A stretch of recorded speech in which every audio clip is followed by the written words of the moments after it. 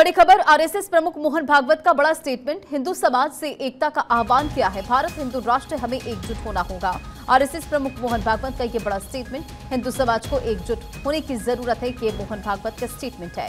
हिंदू समाज को सुरक्षा के लिए एकजुट होना होगा। भारत एक हिंदू राष्ट्र है, हमें एकजुट होना होगा। भाषा, जाति, प्रांत का मतभेद मिटाकर एकजुट हो, ये मोहन भागवत का स्टेटमेंट है। तो आरएसएस प्रमुख मोहन भागवत का ये बड़ा स्टेटमेंट जहाँ हिंदू समाज से एकता का उन्होंने आह्वान किया है, भारत हिंदू राष्ट्र है, हमें एकजुट होना होगा। और आरएसएस प्रमुख मोहन भागवत का ये बड़ा स्टेटमेंट सामने आया है। उन्होंने कहा कि हिंदू समाज को सुरक्षा के लिए एकजुट होना होगा। भारत एक हिंदू राष्ट्र है, हमें एकजुट होना होगा। भाषा, जाति, प्रांत का मतभेद मिटाकर एकजुट हों। तो मोहन भागवत का ये बड़ा स्टेटमेंट